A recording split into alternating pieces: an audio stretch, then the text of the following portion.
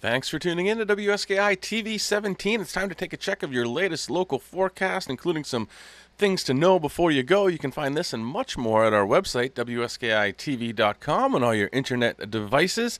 And 45 North brings you this. They will be opening back up in the next couple of weeks at the Sugarloaf Mountain Hotel. Wednesday, we're looking at some rain. We do need the rain, uh, so maybe do some indoor activities. Uh, southeast wind, 5 to 10 miles an hour. Uh, high temperatures only about 50 degrees, so it's staying cool out there. For Thursday, we'll see a chance some morning showers as that system heads out of our area, and then you should see some sunshine.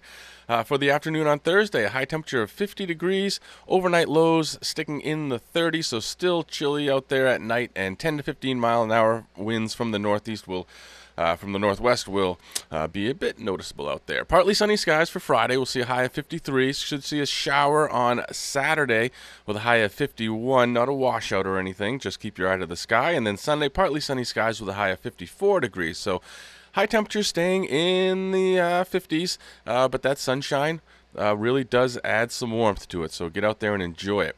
Mountain bike trail conditions, stay tuned. Very soon we should see the single tracks off the narrow gauge pathway opened up officially.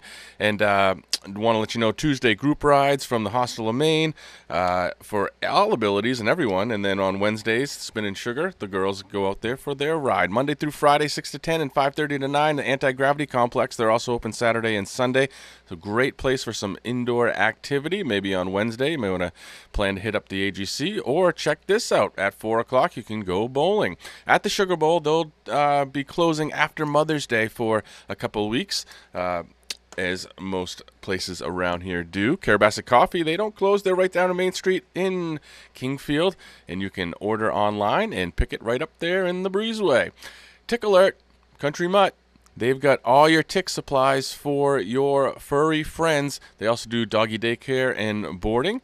Uh, a bunch of great stuff in there.